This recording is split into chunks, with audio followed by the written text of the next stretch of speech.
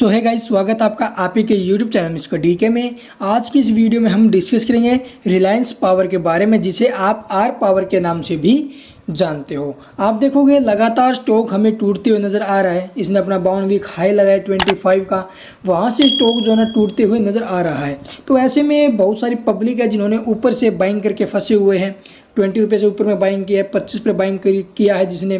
तो high price से buying करके स्टॉक के अंदर फंसे हुए हैं। ऐसे में आप देखोगे, आपके जो शेयर है, वो एलसी के अंदर सेल भी नहीं होते हैं। लेकिन सुबह आप देखोगे स्टॉक ने अप एंड डाउन किया, लेकिन फिर से स्टॉक के ऊपर एलसी का प्रेशर बढ़ा दिया। क्योंकि भाई देखो सेलिंग का प्रेशर जब तक स्टॉक से नहीं हटेगा ना, तब तक ये जो शेयर है, वो हमें ऐसे ही एलसी के अंदर लॉक होते हुए नज़र आने वाला है। और सेकंड आप देखोगे, यहाँ पर आर पावर के अंदर एक न्यूज़ निकल कर आ रही है।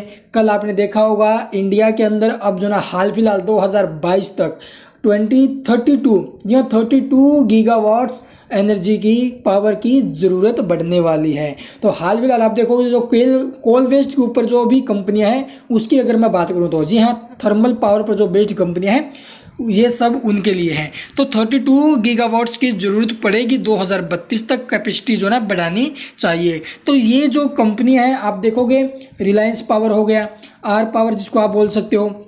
सेकेंडली आप देखोगे जेपी पावर हो गया।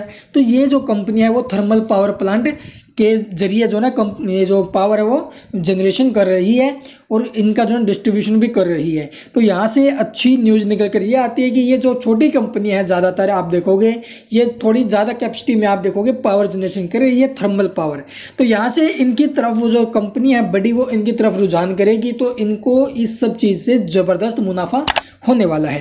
तो ये तो हो गई इसकी लेटेस्ट अपडेट अब हम डिस्कस कर लेते हैं इसके अंदर गिरावट को लेकर। आखिरकार गिरावट क्यों हो रही है? स्टॉक के अंदर सुबह तेज़ी बनी थी।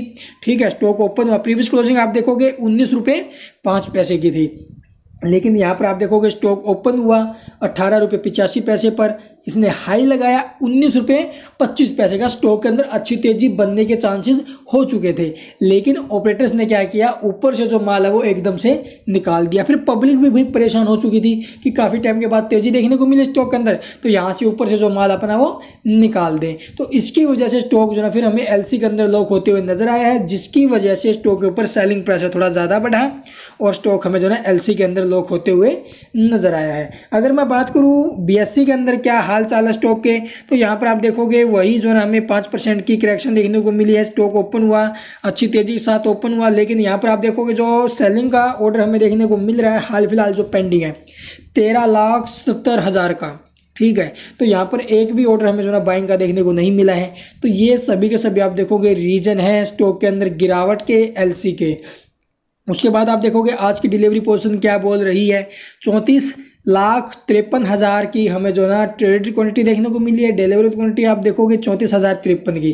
तो यानी चौंतीस लाख तिरपन की। तो यहाँ पर आप देख सकते हो भाई, जो डिलीवरी है वो सारी की सारी उठाई जा रही है। सौ परसेंट जो डिलीवरी वो उठाई जा रही है, लेकिन पब्लिक फिर भी इसके ऊपर सेलिंग का प्रेशर बढ़ा रही है, जिसकी वजह से स्टॉक जो है एलसी के अंदर लॉक होते हुए नज़र आया है। अब हम डिस्कस कर लेते हैं, कल को लेकर कल आखिरकार क्या होने वाला चार्ट इसके क्या लेवल्स दे रहा है, नीचे में क्या सपोर्ट बन रहा है, क्या स्टॉक के अंदर तेज़ी बनेगी या फिर नहीं तो चलिए।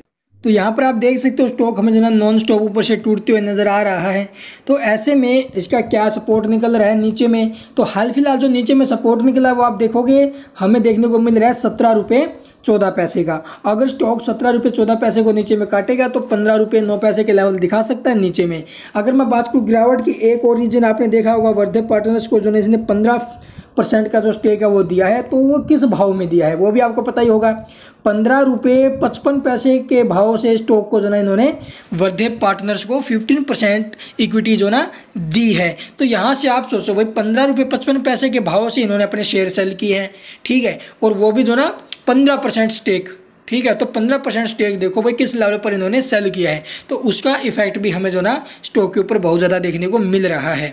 तो यहाँ से जो स्टॉक हमें फिफ्टीन रुपये के भी लेवल नीचे में दिखा सकता है फिफ्टीन रुपये नाइन पैसे। ऊपर में जो इसके टारगेट निकल रहे हैं, हाल फ़िलहाल आप देखोगे तेईस रुपये के रहेंगे और आप देखोगे पाँच, इसकी जो अपर अपर प्राइस बैंड और जो लोअर प्राइस बैंड है वो आप देखोगे फाइव परसेंट से कर दी गई है। जी हाँ आप देखोगे फाइव परसेंट की जो है इसके अंदर सर्किट लिमिट है तो ये सब इसके अंदर रहने वाला है। आई होप आपको सब कुछ समझ में आया होगा। अगर फिर भी कोई भी डाउट्स आपके हो तो आप जो कमेंट में पूछ सकते हो and thank you for watching the video